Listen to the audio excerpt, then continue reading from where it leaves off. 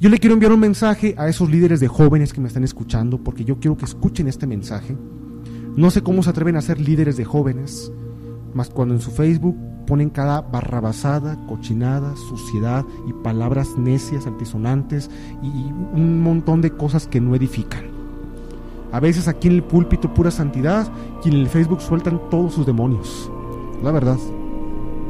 Conozco líderes de jóvenes aquí en Saltillo que acá en la iglesia no sé cómo se atreven a pararse en un púlpito y tú los vas a ver en su Facebook. Ay, y, hay unos que, son músicos facebookeros que se agarran a poner letras de canciones en Facebook.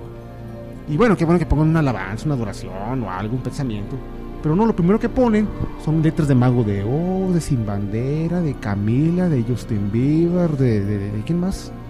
De Metallica, de, de, Wendy Zulka, que si no la conocen en serio, le quiero enviar un mensaje a los pastores que me escuchan y líderes. No vale que un líder de jóvenes predique bien. Vale también como sea allá afuera. Así que les voy a decir algo como pastor, como ministro y como evangelista y como siervo de Dios. Pastor está en su derecho de investigar a partir de ya las conversaciones de su líder de jóvenes. Porque un líder de jóvenes que es corrupto en su mente es un peligro para los demás jóvenes. Hay líderes de jóvenes que no merecen ser líderes de jóvenes, son una vergüenza y son un peligro.